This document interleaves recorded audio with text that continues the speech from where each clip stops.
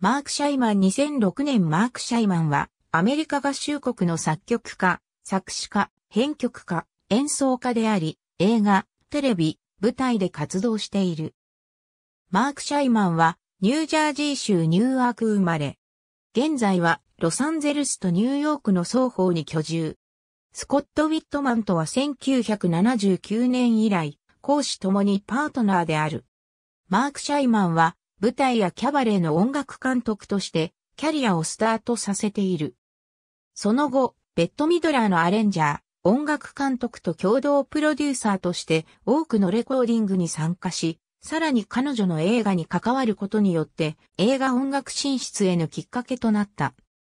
制作した映画音楽はシティスリッカーズ、アダムスファミリー、天使にラブソングをアフューグッドメン、ファーストワイフクラブ、サウスパーク、無修正映画版、パッチ・アダムスなど数多い。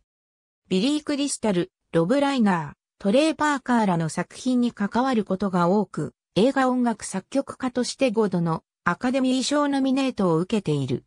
ミュージカル、ヘアスプレーの仕事によって、トニー賞とグラミー賞を受賞している。ヘアスプレーのトニー賞ノミネートは合計12部門、受賞は8部門という圧倒的な成功を収めた。サタデーナイトライブ内のコーナー、スイーニーシスターズの伴奏者としても知られる。エージェントはリチャード・クラフトで、そのドキュメンタリーフィルム、ファインディング・クラフトランドでは歌も披露している。2011年、シャイマンはブロードウェイミュージカル、キャッチ・ミー・イーフ・ユー・キャンでトニー賞編曲賞にノミネートされた。シャイマンとウィットマンは、チャーリーとチョコレート工場で作詞作曲し、2013年から2017年の4年間、ロンドンのウエストエンドで上演され、その後ブロードウェイにあるラント・フォンティーヌ劇場で上演された。